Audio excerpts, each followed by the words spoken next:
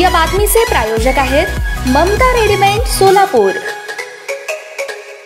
एक उलमाओं की तरफ़ से और बहुजन वंचित आघाड़ी की जानब से यह निवेदन दिया गया है।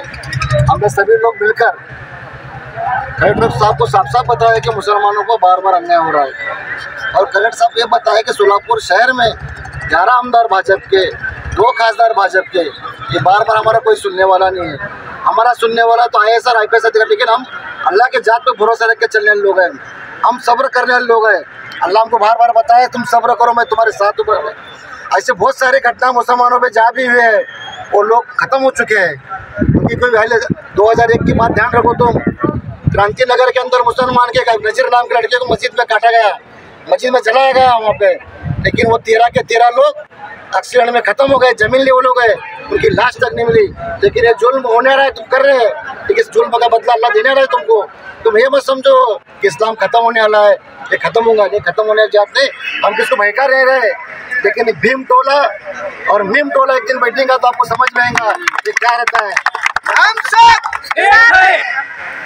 मेरा बोलने का मकसद ये है कलेक्टर साहब ने हमको बताया, तुम शांति रखो। मुसलमान आज तक शांति से रखा है।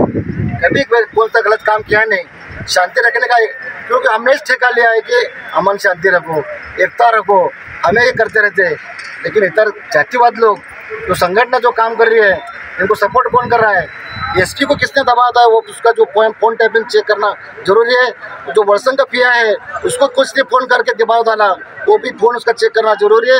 क्योंकि इतना बड़ा घटना होते हुए तुम छोटा सा कलम लगा कर टेबल जामिन देते। इसी तरह की एक महीना पहले सदर बाज़ार पुलिस स्टेशन के अंदर ऐसा एक प्रकार छोटा सा हो गया। सिर्फ़ एक चापट मारा, छोटा सा मार लगा तो उसको अपहरण का गुना। चौदह कलम लगाए गए। आज तक हमारे बच्चे जेल के अंदर है। डेढ़ माह एक लड़की, जवान बच्ची हमारी, आज जेल में। आज तुम लड़की तक छोड़े नहीं। क्योंकि तुम भीतर समाज के लोग को दाखिल हुआ तो मुसलमान का आरोपी रहा तो ताबड़ तो गुना दाखिल। और अगर दूसरा कुछ रहे तो दाखिल नहीं। तो ये अन्याय बहुत हो रहा है भाई। हम आज कलेक्टर साहब को बोला है डॉक्टर बाबा साहब अंबेडकर जिसने घटना लिखी हमारी, हम जाको लास्ट में एक ही सोचे कि बाबा साहब को जाके मांगना है हमको अब। अब किसी को मांग कर कुछ फ़ायदा नहीं।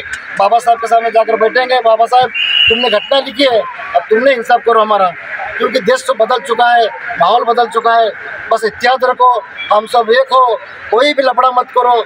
बस अमन शांति रखो और लड़ाई लड़ेंगे हम। हम इसकी रीट दाखिल करेंगे हाईकोर्ट में जाकर। दायरे में रहकर काम करेंगे। जो गलत काम हुआ है, तीन चौबीस लगा है, लेकिन रीट दाखिल कर हाईकोर्ट से न्याय मांगकर सबको सस्पेंड करेंगे हम। बस इतना कहता हूँ, सब अमन शांति के साथ हम लड़ेंगे। ताज्या बातम्या पाहण्यासाठी प्राईम महाराष्ट्र न्यूज़ चॅनलला सबस्क्राईब करा.